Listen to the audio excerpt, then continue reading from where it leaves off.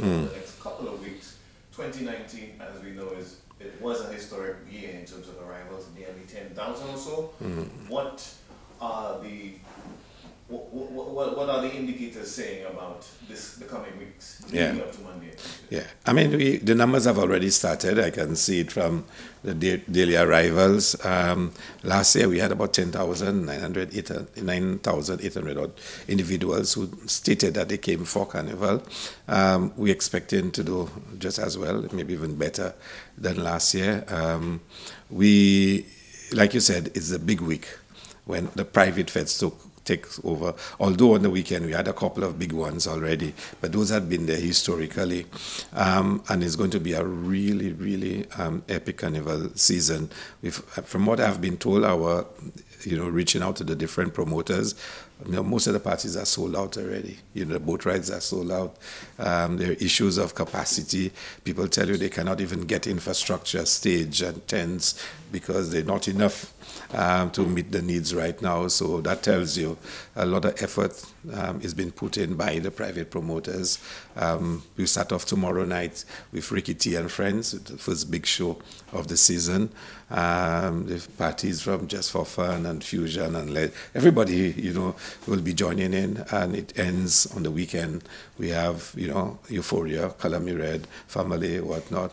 Um, a lot of people come in for that. They come in for that. yeah. Because you would have the opposition and other detractors who are sort of um casting doubt over the airlift to our particular location and so on and so forth. So, yeah. does that make sense given the evidence of the arrival? I mean, they, they, put that way, we have less seats, but our rivals are up on last year. I mean, last year we, at year to date, to me, we are doing better than last year. Well, June figures are not out yet. June just ended. Year to date, with less seats and, I'm, I, and when I look at the numbers, I also look at the load factor. The, the airlines are coming in 95% feel. Air Canada was 100%, you know, American 100%. They are coming in feel. So we have less seats, but our numbers are still up. Um, of course, we want more seats because if you have more seats, you can promote even harder, you can drive it harder, and still and get more people. Um, but I mean, we our numbers are still above last year. Um, we're 95% of where we were in 2019, um, which tells you that we almost completely back to the best. Yeah. Um, so, I mean, they, they, have those detractors. Personally, I would love more flights. I'd love more seats because just the more seats you have, you know, the more options people have, the more some people will come. And even in all of that, the FA has never been so high.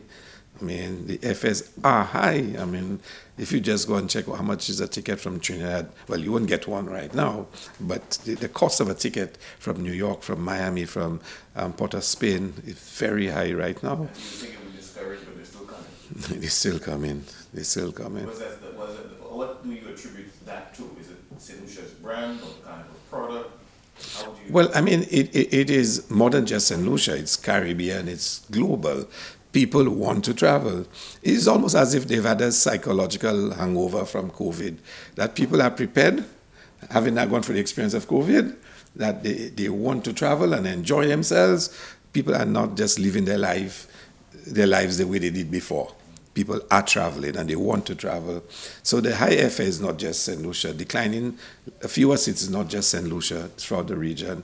And, you know, everybody's having good numbers as well. People are traveling. St. Lucia, maybe a little more so because, you know, we're one of the premier destinations. So, you know, there is a huge demand um, for St. Lucia. So we are benefiting from that.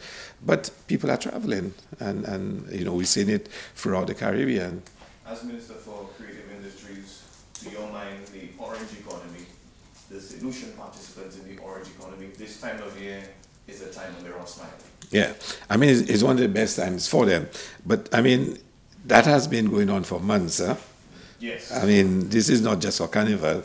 We moved from jazz, which was another, you know, fantastic period for the creatives and everybody associated from hairdressers, you know, um, persons, cosmetologists, the small vendors, the seamstresses. That has been going on. And once jazz ended, we tried to start some of the community carnivals, and we're now into um, carnival.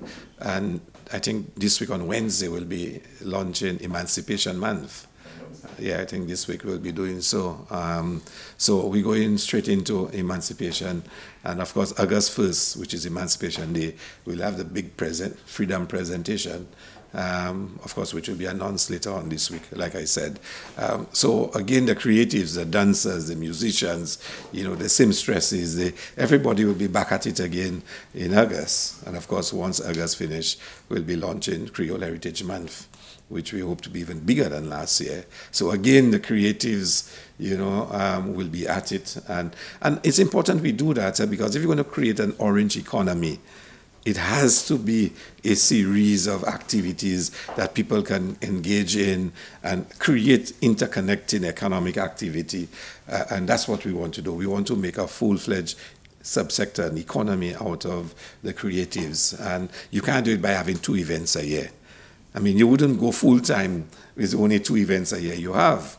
You go full time if you know, you know, just like you export bananas every week, you know, you can be part of that. You go fishing every day. Um, you know, so that's what we, we intend to do create an, eco- an economy for creatives where they basically just have continuous economic activity, creating livelihoods for them, you know, jobs, and that, that's what it's all about. Some observers have indicated the recent